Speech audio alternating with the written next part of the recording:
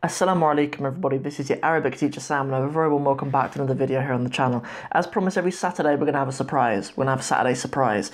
Because as I say, we need to keep one day open a week where we can just um, stick something in and we can improvise. You know, sometimes something comes up in the week and I think that'd be cool to do. Or nothing comes up in the week that I think would be cool to do and I make up something as a little surprise just to shake things up a little bit. So what I thought we'd do is that in the podcast um, earlier this week I sort of stumbled across um, the idea of just going over an Arabic root because um, Arabic roots are fascinating and they blow my mind.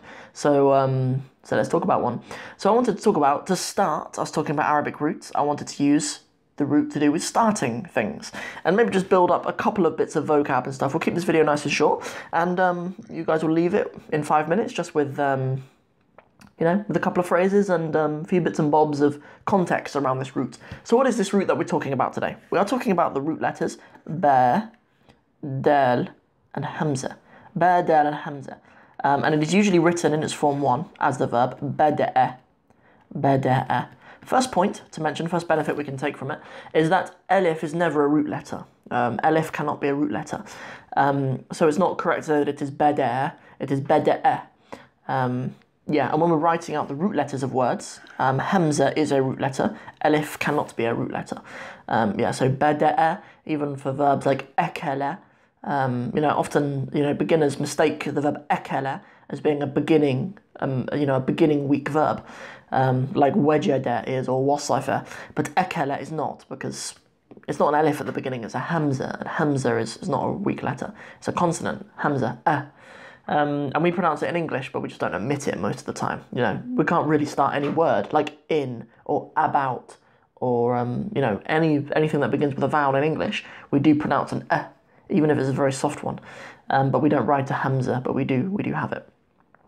Good. So the verb bada'a, okay, bada'a, and in the present tense yabda'u. Yab yabda'u. Bada'a yabda'u. And um, the word generally for a beginning of something, like in the beginning of a story or something like that, is bidaya. Bidayatun. So you can say like in the beginning, fil bidaya, fil bidaya, kada wa kada, you know, blah blah blah, fil bidaya. Next one is a really useful word actually, is the word ibtida'iyya. Ibtida'i ibtida'i or ibtida'iyya specifically. Um, no, I learned this word um, because I used to be a primary school teacher. Some of you don't know that. Um, ibtida'iyya. I was horrible at my job, um, but uh, that's a story for a different day. Ibtida'iyya, ibtida'iyya. So a primary school teacher is a um, is a mudarris ibtida'i. You know, or, or I used to say mudarrisun في مدرسة ابتدائية you know so a, a primary school is a madrasa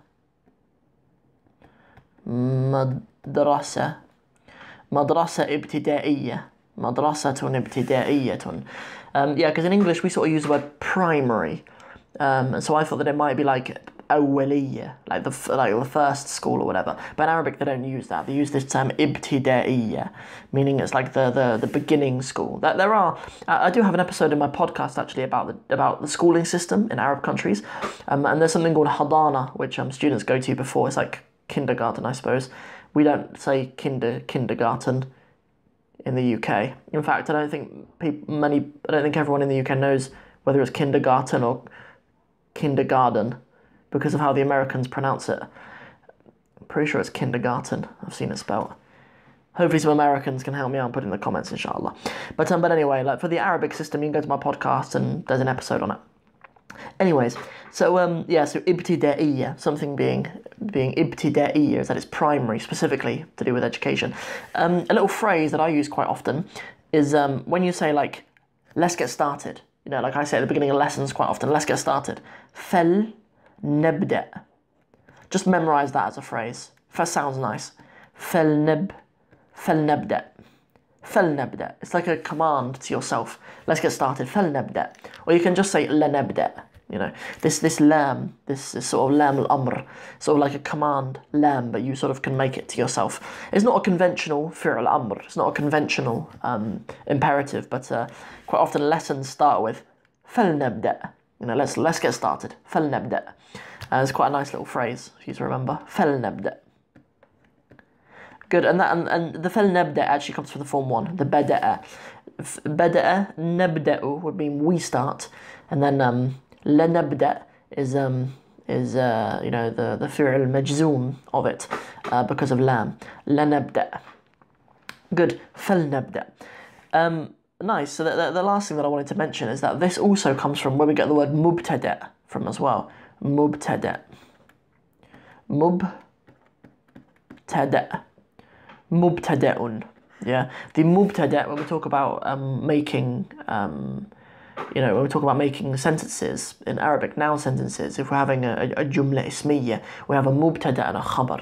So, for example, the mubtada will be just the thing that we're starting the sentence with, right? Al mubtada could be something like the name Sam.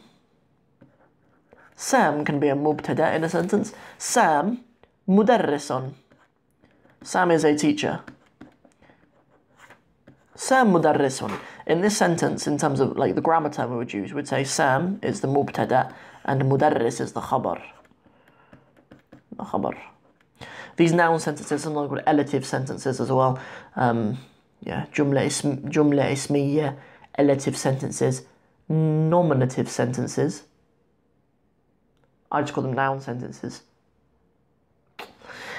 So that is a little rundown of the, the root bada'a. There probably are other terms um, that could go into it, but I wanted to keep it nice and short and just send you guys away with a few little phrases and little um, and little bits of context as well.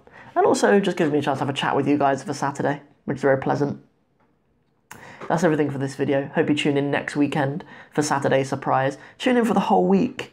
You know, every week on at 5 p.m. Inshallah, we have stuff going on. If you missed um, yesterday and the day before the two live um, things that I did, then that's a real shame. But you can check in on Thursday and Friday, 5 p.m. for live shows. Thursday's a live um, is a live Q and A. So if you have any questions throughout the week, you can bring them to me. And we do this on Facebook and Instagram. Um, yeah, we, we, we run live.